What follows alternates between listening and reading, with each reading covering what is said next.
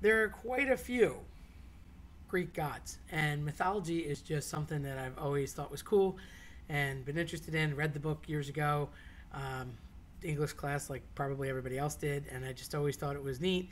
Uh, the stories that went behind him. So I'll talk a little bit uh, here and there about some of the more popular and specific ones as we go along in some episodes. But I thought it would be nice to start from the very beginning as to who is who, uh, literally, or who is whom, um, in this scenario because we have Greek gods and Roman gods, and even though they're the same person, a lot of people get them confused.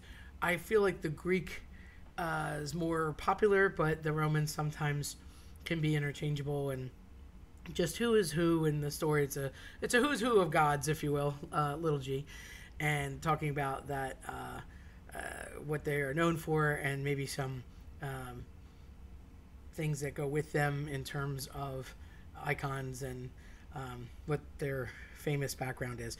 So I, I, think I first got hooked with Clash of the Titans back in the I think it was 1980. Burgess Meredith and um, Harry Hamlin.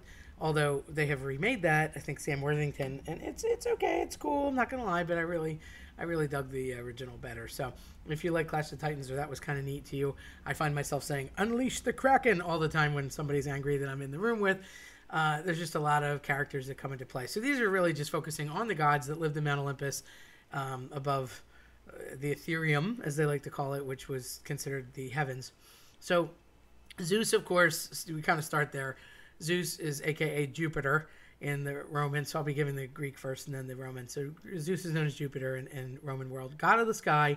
He's the chief deity, and the lightning bolt and the eagle are generally symbols of his. So when you think of the whole like crashing lightning, uh, it's usually Zeus. Um, he was the, the the king, if you will, of the gods, the chief god. Hera, uh, his sister, we'll talk more about that later, also known as Juno, typically known for women, marriage, and childbirth. Athena, also known as Minerva, was the goddess of war, handicraftsmanship, that's quite a word, uh, practical reasoning. Uh, you might say she was the MacGyver of the situation, or the MacGyveress, as the case may be, because following her up is Ares, aka Mars, and also the god of war and spirit of battle. So he'd be the war cry, if you will, as well as uh, the actual uh, reasoning behind the war, but she would be more handling the actual war. Uh, so they make an interesting couple. Uh, Aphrodite, which in Roman terms would be Venus, love, beauty, and all things of the uh, the fairness uh, of people, if you will. Apollo, known as Phoebus in uh, Roman times, uh, divine distance, meaning making mortals aware of their guilt. Um, he was just the person that uh, made you kind of have a conscience and think about what you may have done uh, correctly or not. And a lot of times, um, he was the intermediary between mortals and Mount Olympus. He sort of spoke for the people and translated, if you will, into God speak, and then the gods would relay a message to him, and then he would speak in a way that mortals could understand. Then we have Helios, um, also known as Sol, as in not just that cool little Kia vehicle with the hamsters, but uh, no, Helios, meaning sun. Uh, he's the sun god, also known as a Titan, one of the bigger gods, Titan meaning large. He generally was known as a uh, chariot wielder who would go from east to west every day, uh, often in a big chariot, like pulling a big cup that he would stand in. So uh, when you say of a heliocentric universe, the same idea appeals that, uh, that a, a sun centered universe, which took them a long time to come upon because people thought the Earth was flat. People thought that uh, the universe revolved around Earth. All not true, despite what some people may still argue. Uh, following that up was Artemis. Artemis, also known as Diana, she was the goddess of hunting, um, wild animals, vegetation, and chastity. It's quite a uh, conglomerate of things there, and they're sort of all over the place. But um, the hunt, if you will, that's really the the big key there. Selene um, also known in some circles in Roman as a different Diana, but also known as Luna. which makes more sense to me because Luna, based on the Latin, is moon, and she's the moon goddess. Um, typically worshipped during new and full moons, but uh, some name crossover there. But again, I would go with Luna because obviously that, uh, even in Spanish and Italian, would equate to this day. Hermes, he's quite the character, also known as Mercury. Um, very big uh, list for him luck, um, wealth, uh, languages, travel, sleep, which makes no sense to me, but okay. um, track, as in not just the sport, but also tracking. No accident that the FTD uh, floral people use the winged foot to say that you could track their package and get the flowers there faster. Um, he's also the patron of shepherds. He uh, is the patron of thieves, and he invented the lyre, um, L Y R E, not your liar, as in not telling me the truth, but the musical instrument. And he was the messenger of Mount Olympus. So that winged foot came into play because he was always racing so fast back and forth to and fro uh, Mount Olympus because he was delivering the messages from the gods. So he had quite a big laundry list of things that he was in charge of. Hades, also known as Pluto, was the god of the underworld, and the word itself indicates unseen, and it also can mean the giver of wealth. So it makes sense because if he was in the the underworld, generally the behind the scenes guy, not seen, but um, kind of like playing off of Fortune's wheel, as I've mentioned in uh, different uh, circles before, pardon the pun, about the wheel in the sky or having a um, luck. So if you brag about it, you end up on the the destitute part of things, and if you're sad and you're upset about how little you have, then fortune's wheel will spin to uh, give you more wealth and more prosperity. So um, always in motion, fortune's wheel, kind of a play on that. And the underworld had a lot to do with that. It kind of saw um, your circumstance and could put you back in motion in that wheel in the sky, which is constantly uh, moving. Dionysus, also known as Bacchus, is the god of wine and pleasure. I think he got a pretty good gig, I'm not going to lie. Um, so he's always pictured uh, with grapes or a goblet or some sort of wine cup. Um, then we move into Hephaestus, also known as Vulcan, the fire god, but patron of craftsmen, and he's more on the volcanic side of things. So um, his workshop was literally a volcanic workshop, and I know they've played off of this in a lot of movies recently. Uh, certainly with Thor, when they went to the uh, forge to try and find the new axe and things like that, you see this uh, play around a lot. Forged in fire, that kind of idea. So it was using the power of the volcanoes to make whatever um, uh, craftsman tool in order for living and or war. Hestia, also known as Vesta, uh, is the goddess of the hearth and protector of home and state. I find that interesting because, again, on modern day, when you think about um, Wonder Woman and Gal Gadot wields this uh, uh, lanyard and the lasso, and she says, "You know, I command you by Hestia." Uh, which is a whole play on the Amazons and the ancient Greek goddesses that they're confined to this uh, uh, island. I would have thought more with truth, but it's more protection. So that makes sense because those Amazons are supposed to be the protectors. But it's really hearth and home, so um, security for your home, if you will. But she always says, I command you by Hestia.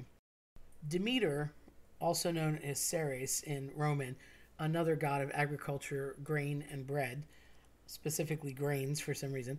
Um, really a outside kind of a guy, and not uh, a person that would um, be involved in the war side of things, but more in the day to day living and and uh, provisions, if you will.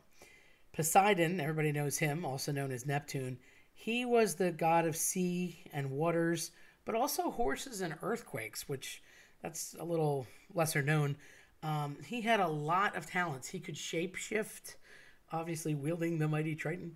Um, had the trident all the time, um, and he had a lot more power than most of the other gods, um, and always had the ability to manipulate not just the seas but the creatures within. So you might say a modern day Aquaman. Um, Heracles, aka Hercules. So it's interesting. The Greek spelling is a little bit off compared to the Roman spelling, but they're so similar compared to a completely different name in the most of these situations.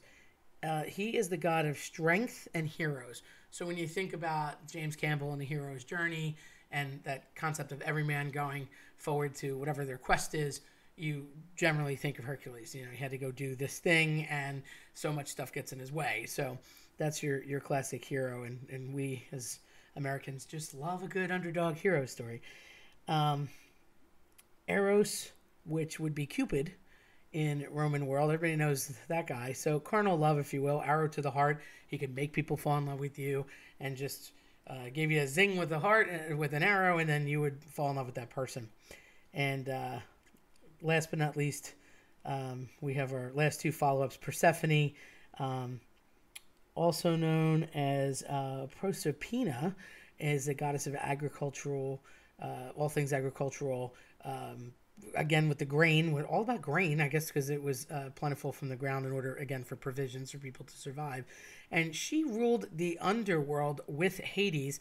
She was his wife. So it's um, rumored that the seasons came about after she was allegedly kidnapped. So Hades would like take her back to the underworld and like she would make these cameos and I guess they showed up four times a year because the seasons were attributed to her appearances or not.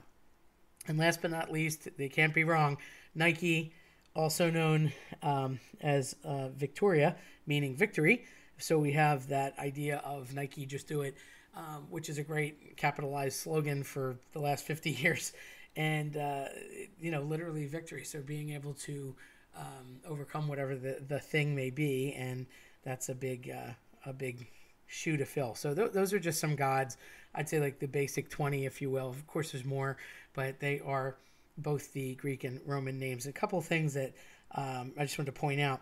Zeus poseidon demeter hera hestia and hades were all siblings. And all children of Kronos and Rhea. They were the parents. And Kronos, you think, god of time. So there's a whole backstory there, talking about an ungrateful child. But those those guys were together. So those were the uh, the big six, if you will, and they uh, had a little bit more power uh, than than others, and they kind of ran the show. So they were all um, children of Kronos and, and Rhea, and it's worth mentioning. The other thing that comes up a lot, just again in terms of quick uh, modern day example, I always liked the band Styx. Well, the River Styx was supposedly the separation between our world and the underworld. And Charon was the gatekeeper, if you will. He was the ferryman that you had to pay to get across from the earthly side to the underworld side. And very often you see um, coins placed over the eyelids of the dead so that when Charon came to collect, if you will, kind of a Grim Reaper, but not quite. He would take that payment to cross the body over to the underworld. And if there wasn't a payment, then that person was left to wander, kind of lost in between zones. You see a nod to this in The Matrix when uh, Neo is shot, and then in the end, he's sort of in a coma, but not. You can't get from the trainman area.